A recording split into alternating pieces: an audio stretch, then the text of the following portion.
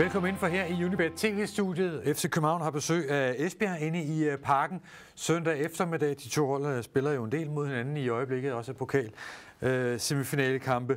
Men nu skal vi lige kigge på, på Superliga-kampen, Mikkel. Et spiltip her til, øh, til kampen? Jeg tror, det bliver to trætte hold, så øh, jeg tror ikke, de formår at score så meget under 2,5 mål. Ja, ja. Det kan godt være, de er trætte, men jeg tror faktisk, at der er lidt, lidt liv i angrebet, men jeg tror også, at begge hold formår at score øh, inde i parken. Så må det blive 1-1, hvis vi begge to skal blive enige. Ja, hvis vi begge, så, så kan vi kun to altså blive enige, fordi øh, jeg tror altså, at FCK, de er, de er gode hjemme i parken. Jeg tror, de lige præcis bliver marginalt bedre. Desuden er også på en sejr, den er, det er rent faktisk stedet.